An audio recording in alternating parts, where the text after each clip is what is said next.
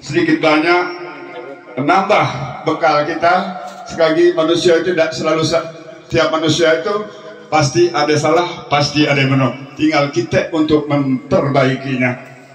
Itu saja pada tuan rumah kami ucapkan terima kasih. Sekali lagi semoga anak-anaknya sukses. Rabbana atinanya di dunia hasanah wa fil akhirati hasanah wa qina azabannar. Dan kemudian ya ayyuhallazina amanu ku anfusakum wal ahlikum naro. Hai orang-orang yang beriman jagalah dirimu keluargamu dari api neraka.